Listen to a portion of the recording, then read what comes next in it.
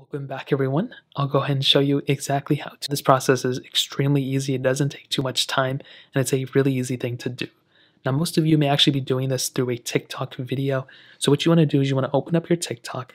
First of all, follow me if you want to. So once you have your TikTok in mind that you have opened up, all you want to do is click on the three dots right here and you want to save the video. So as long as you have the video saved, and it should be saying saving right here, so it may take a second as you can see I just saved the video, what you want to do is you want to hop out of there you want to go into your Snapchat account. You will have to have Snapchat in order to do this.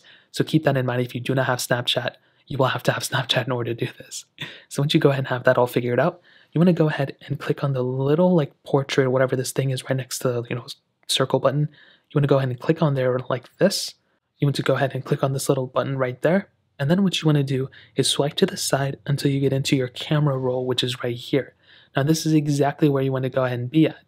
So all you have to do now is boot up that specific video that you want to go ahead and showcase. As you can see, it's this video for me. And all you have to do here is you want to go ahead and click edit, which is right there. It's going to go ahead and get into this specific panel. And as you can see, it looks just like the regular Snapchat editing thing. And all you have to do is swipe to the side a couple of times, and you'll actually be able to go ahead and slow down the video. As you can see, swipe right, swipe right, and you'll get into this little snail icon. And as you can see, it gets right in there. And that's pretty much all you have to do. Your video is now slowed down just like this. And at this point, all you can really have to do if you want to, you can click this little share button and you can save the video right here. Or you can just view it from this little angle here. You can also, I think, scroll through it here. I guess not. But as you can see, the video is now saved.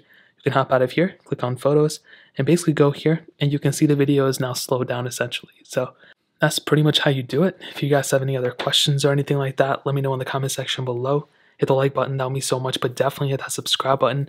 Every single subscriber that we get really does count, so it means so much if you guys can hit that. Also, check out the other links down in the description as well my Twitter, my Instagram, my other channels. More importantly everything else, I love every single one of you guys. Hopefully, I'll catch you guys in the next video. Peace out till then.